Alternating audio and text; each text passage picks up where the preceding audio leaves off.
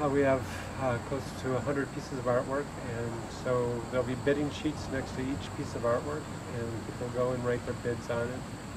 And by the end of the night, when we close the bidding at 9:30, whoever's the last bid wins the piece. Okay, and, and you're actually bidding now. You could bid by Now, email? early bidding. I've got somebody from Chicago that's really interested in the Gao brothers, the Chinese guys. Um, so, but bidding, you know, not to discourage anybody, but if you bid early, you're kind of bidding against yourself. You want to be the last one to bid, not the first. So that's the incentive to come here on Saturday That's night. correct. Okay.